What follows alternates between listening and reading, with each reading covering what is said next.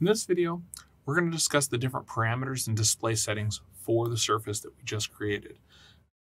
So to get to the different display settings and parameters for our surfaces, what we're going to go ahead and do is navigate over to the tool space in the Prospector tab. We're going to drop down surfaces. We're going to go to EG and we're going to right click and select surface properties. Inside of the surface properties, we have the style settings for our surface. I'm going to go ahead and drop down our surface style and select contours 2 and 10 background, and then I'm going to select edit that surface style. Um, so inside of the surface style, we have information regarding what the name and the description and who created it is. This is not a display setting. This is just an informational tab that lets us identify our specific style. Moving on from there, we start dealing with what the different parameters and display settings for our surfaces are. So the first thing we come to is borders. Borders are um, just outlines for uh, specific regions of a surface, whether it be the exterior boundary or whether it be a interior boundary uh, for displaying or not displaying information within a surface. Moving on from there, we have contours, and the contours are going to display specific elevation locations on a surface. Moving on into here, we can talk about what the different ranges is are for contours if we're going to do a contour range analysis. Otherwise, we can talk about the 3D geometry and whether or not we are going to flatten out that geometry or whether or not we're going to exaggerate it or if we're just going to use it based on the data that was put into the surface. Moving to the next, we can show how we're going to display a legend that's associated with those contours. Uh, then we can talk about contour intervals, which are basically how often you show these contours on your surface. Since this is a 2 and 10 contour style, we have our minor intervals set at 2 feet and our major intervals set at 10 feet. Moving into the next option, we have the contour depressions. If you have a depression in your surface and you choose true for display depression contours, then you can choose your tick mark intervals and tick mark lengths. Those ticks will indicate that there is a, a depression in the surface and there's no outlet for that, that depression on that surface. And then contour smoothing basically makes it so that the contours that are being displayed inside Civil 3D are not jagged, they're rather smoothed out. They don't necessarily represent a good indication of what the triangular lines are doing for our surface, but it does look nice for when you're going to print it out uh, onto a plan set. Moving on to the next tab, we have grids. So you can grid your surface and you can have a primary grid with an orientation of a specific direction and a secondary grid with an orientation of a different direction. Uh, usually they're within 90 degrees of each other and then uh, what the intervals for those two grid types are. So you can have them be equal and have a square gridded network on your surface, or you can change the intervals at those uh, gridding sections. And so you can change how those grids are displayed inside of your surface. Moving on to the next is points, and this is how the data in your surface is being displayed if you choose to display it, what that point scale is going to be, what the point style is going to be, and then moving on to triangles, we're just talking about how we're going to display those triangles, whether or not they're going to use surface elevation, whether they're going to be flattened or they're going to be exaggerated. Most of the time when I'm dealing with surfaces, I'm always using the surface elevation rather than flattening or exaggerating. Uh, so moving on to watersheds.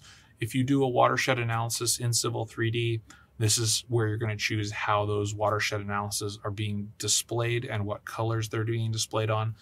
So what you have is you have the uh, generic parameters for your watersheds, and then you have the watershed specific display settings. So you have your boundary point watershed, boundary segment watershed, depression watersheds, flat area watersheds, multi-drain watersheds, and multi-drain notched watersheds. And then you have your display settings for your legend, what you want your surface to be displayed as, your point sizing, and then your 3D geometry, whether or not you want to use your surface elevation, exaggerate it, or flatten it.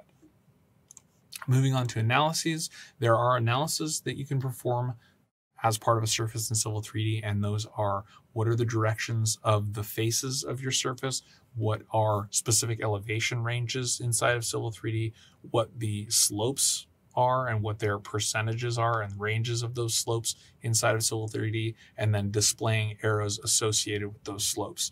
And so each of these has set parameters before you perform an analysis. So these areas are the the set standards for when you do the analysis. And then once you go into the analysis tab, which we'll do later, uh, you can change these numbers, but this is what the base parameters are going to be for those analyses. Moving on to display, this is where we kind of get in the meat and potatoes of how Civil 3 is actually showing this information and whether or not it is showing it.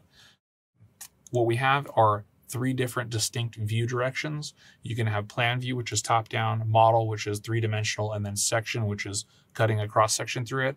Plan and model have the same display settings. They can be different from each other, but they are they contain the same components. Whereas section only has one component. It's what your surface looks like when you cut a section through it. So we're going to go through plan because it's the same as model, and we're going to talk about the different parameters.